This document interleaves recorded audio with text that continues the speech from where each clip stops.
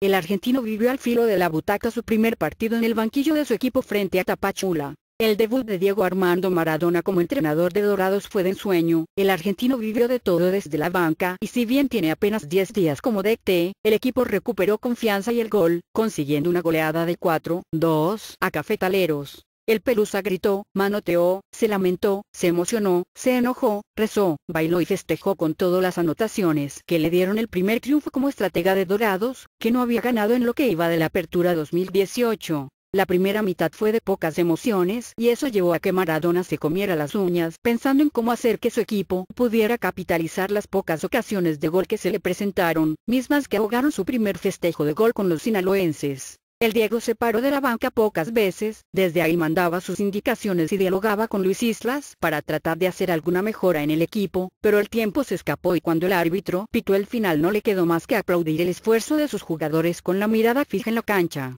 Para el segundo tiempo las acciones del partido contagiaron al argentino que dejó la banca para vivir el partido desde su área técnica.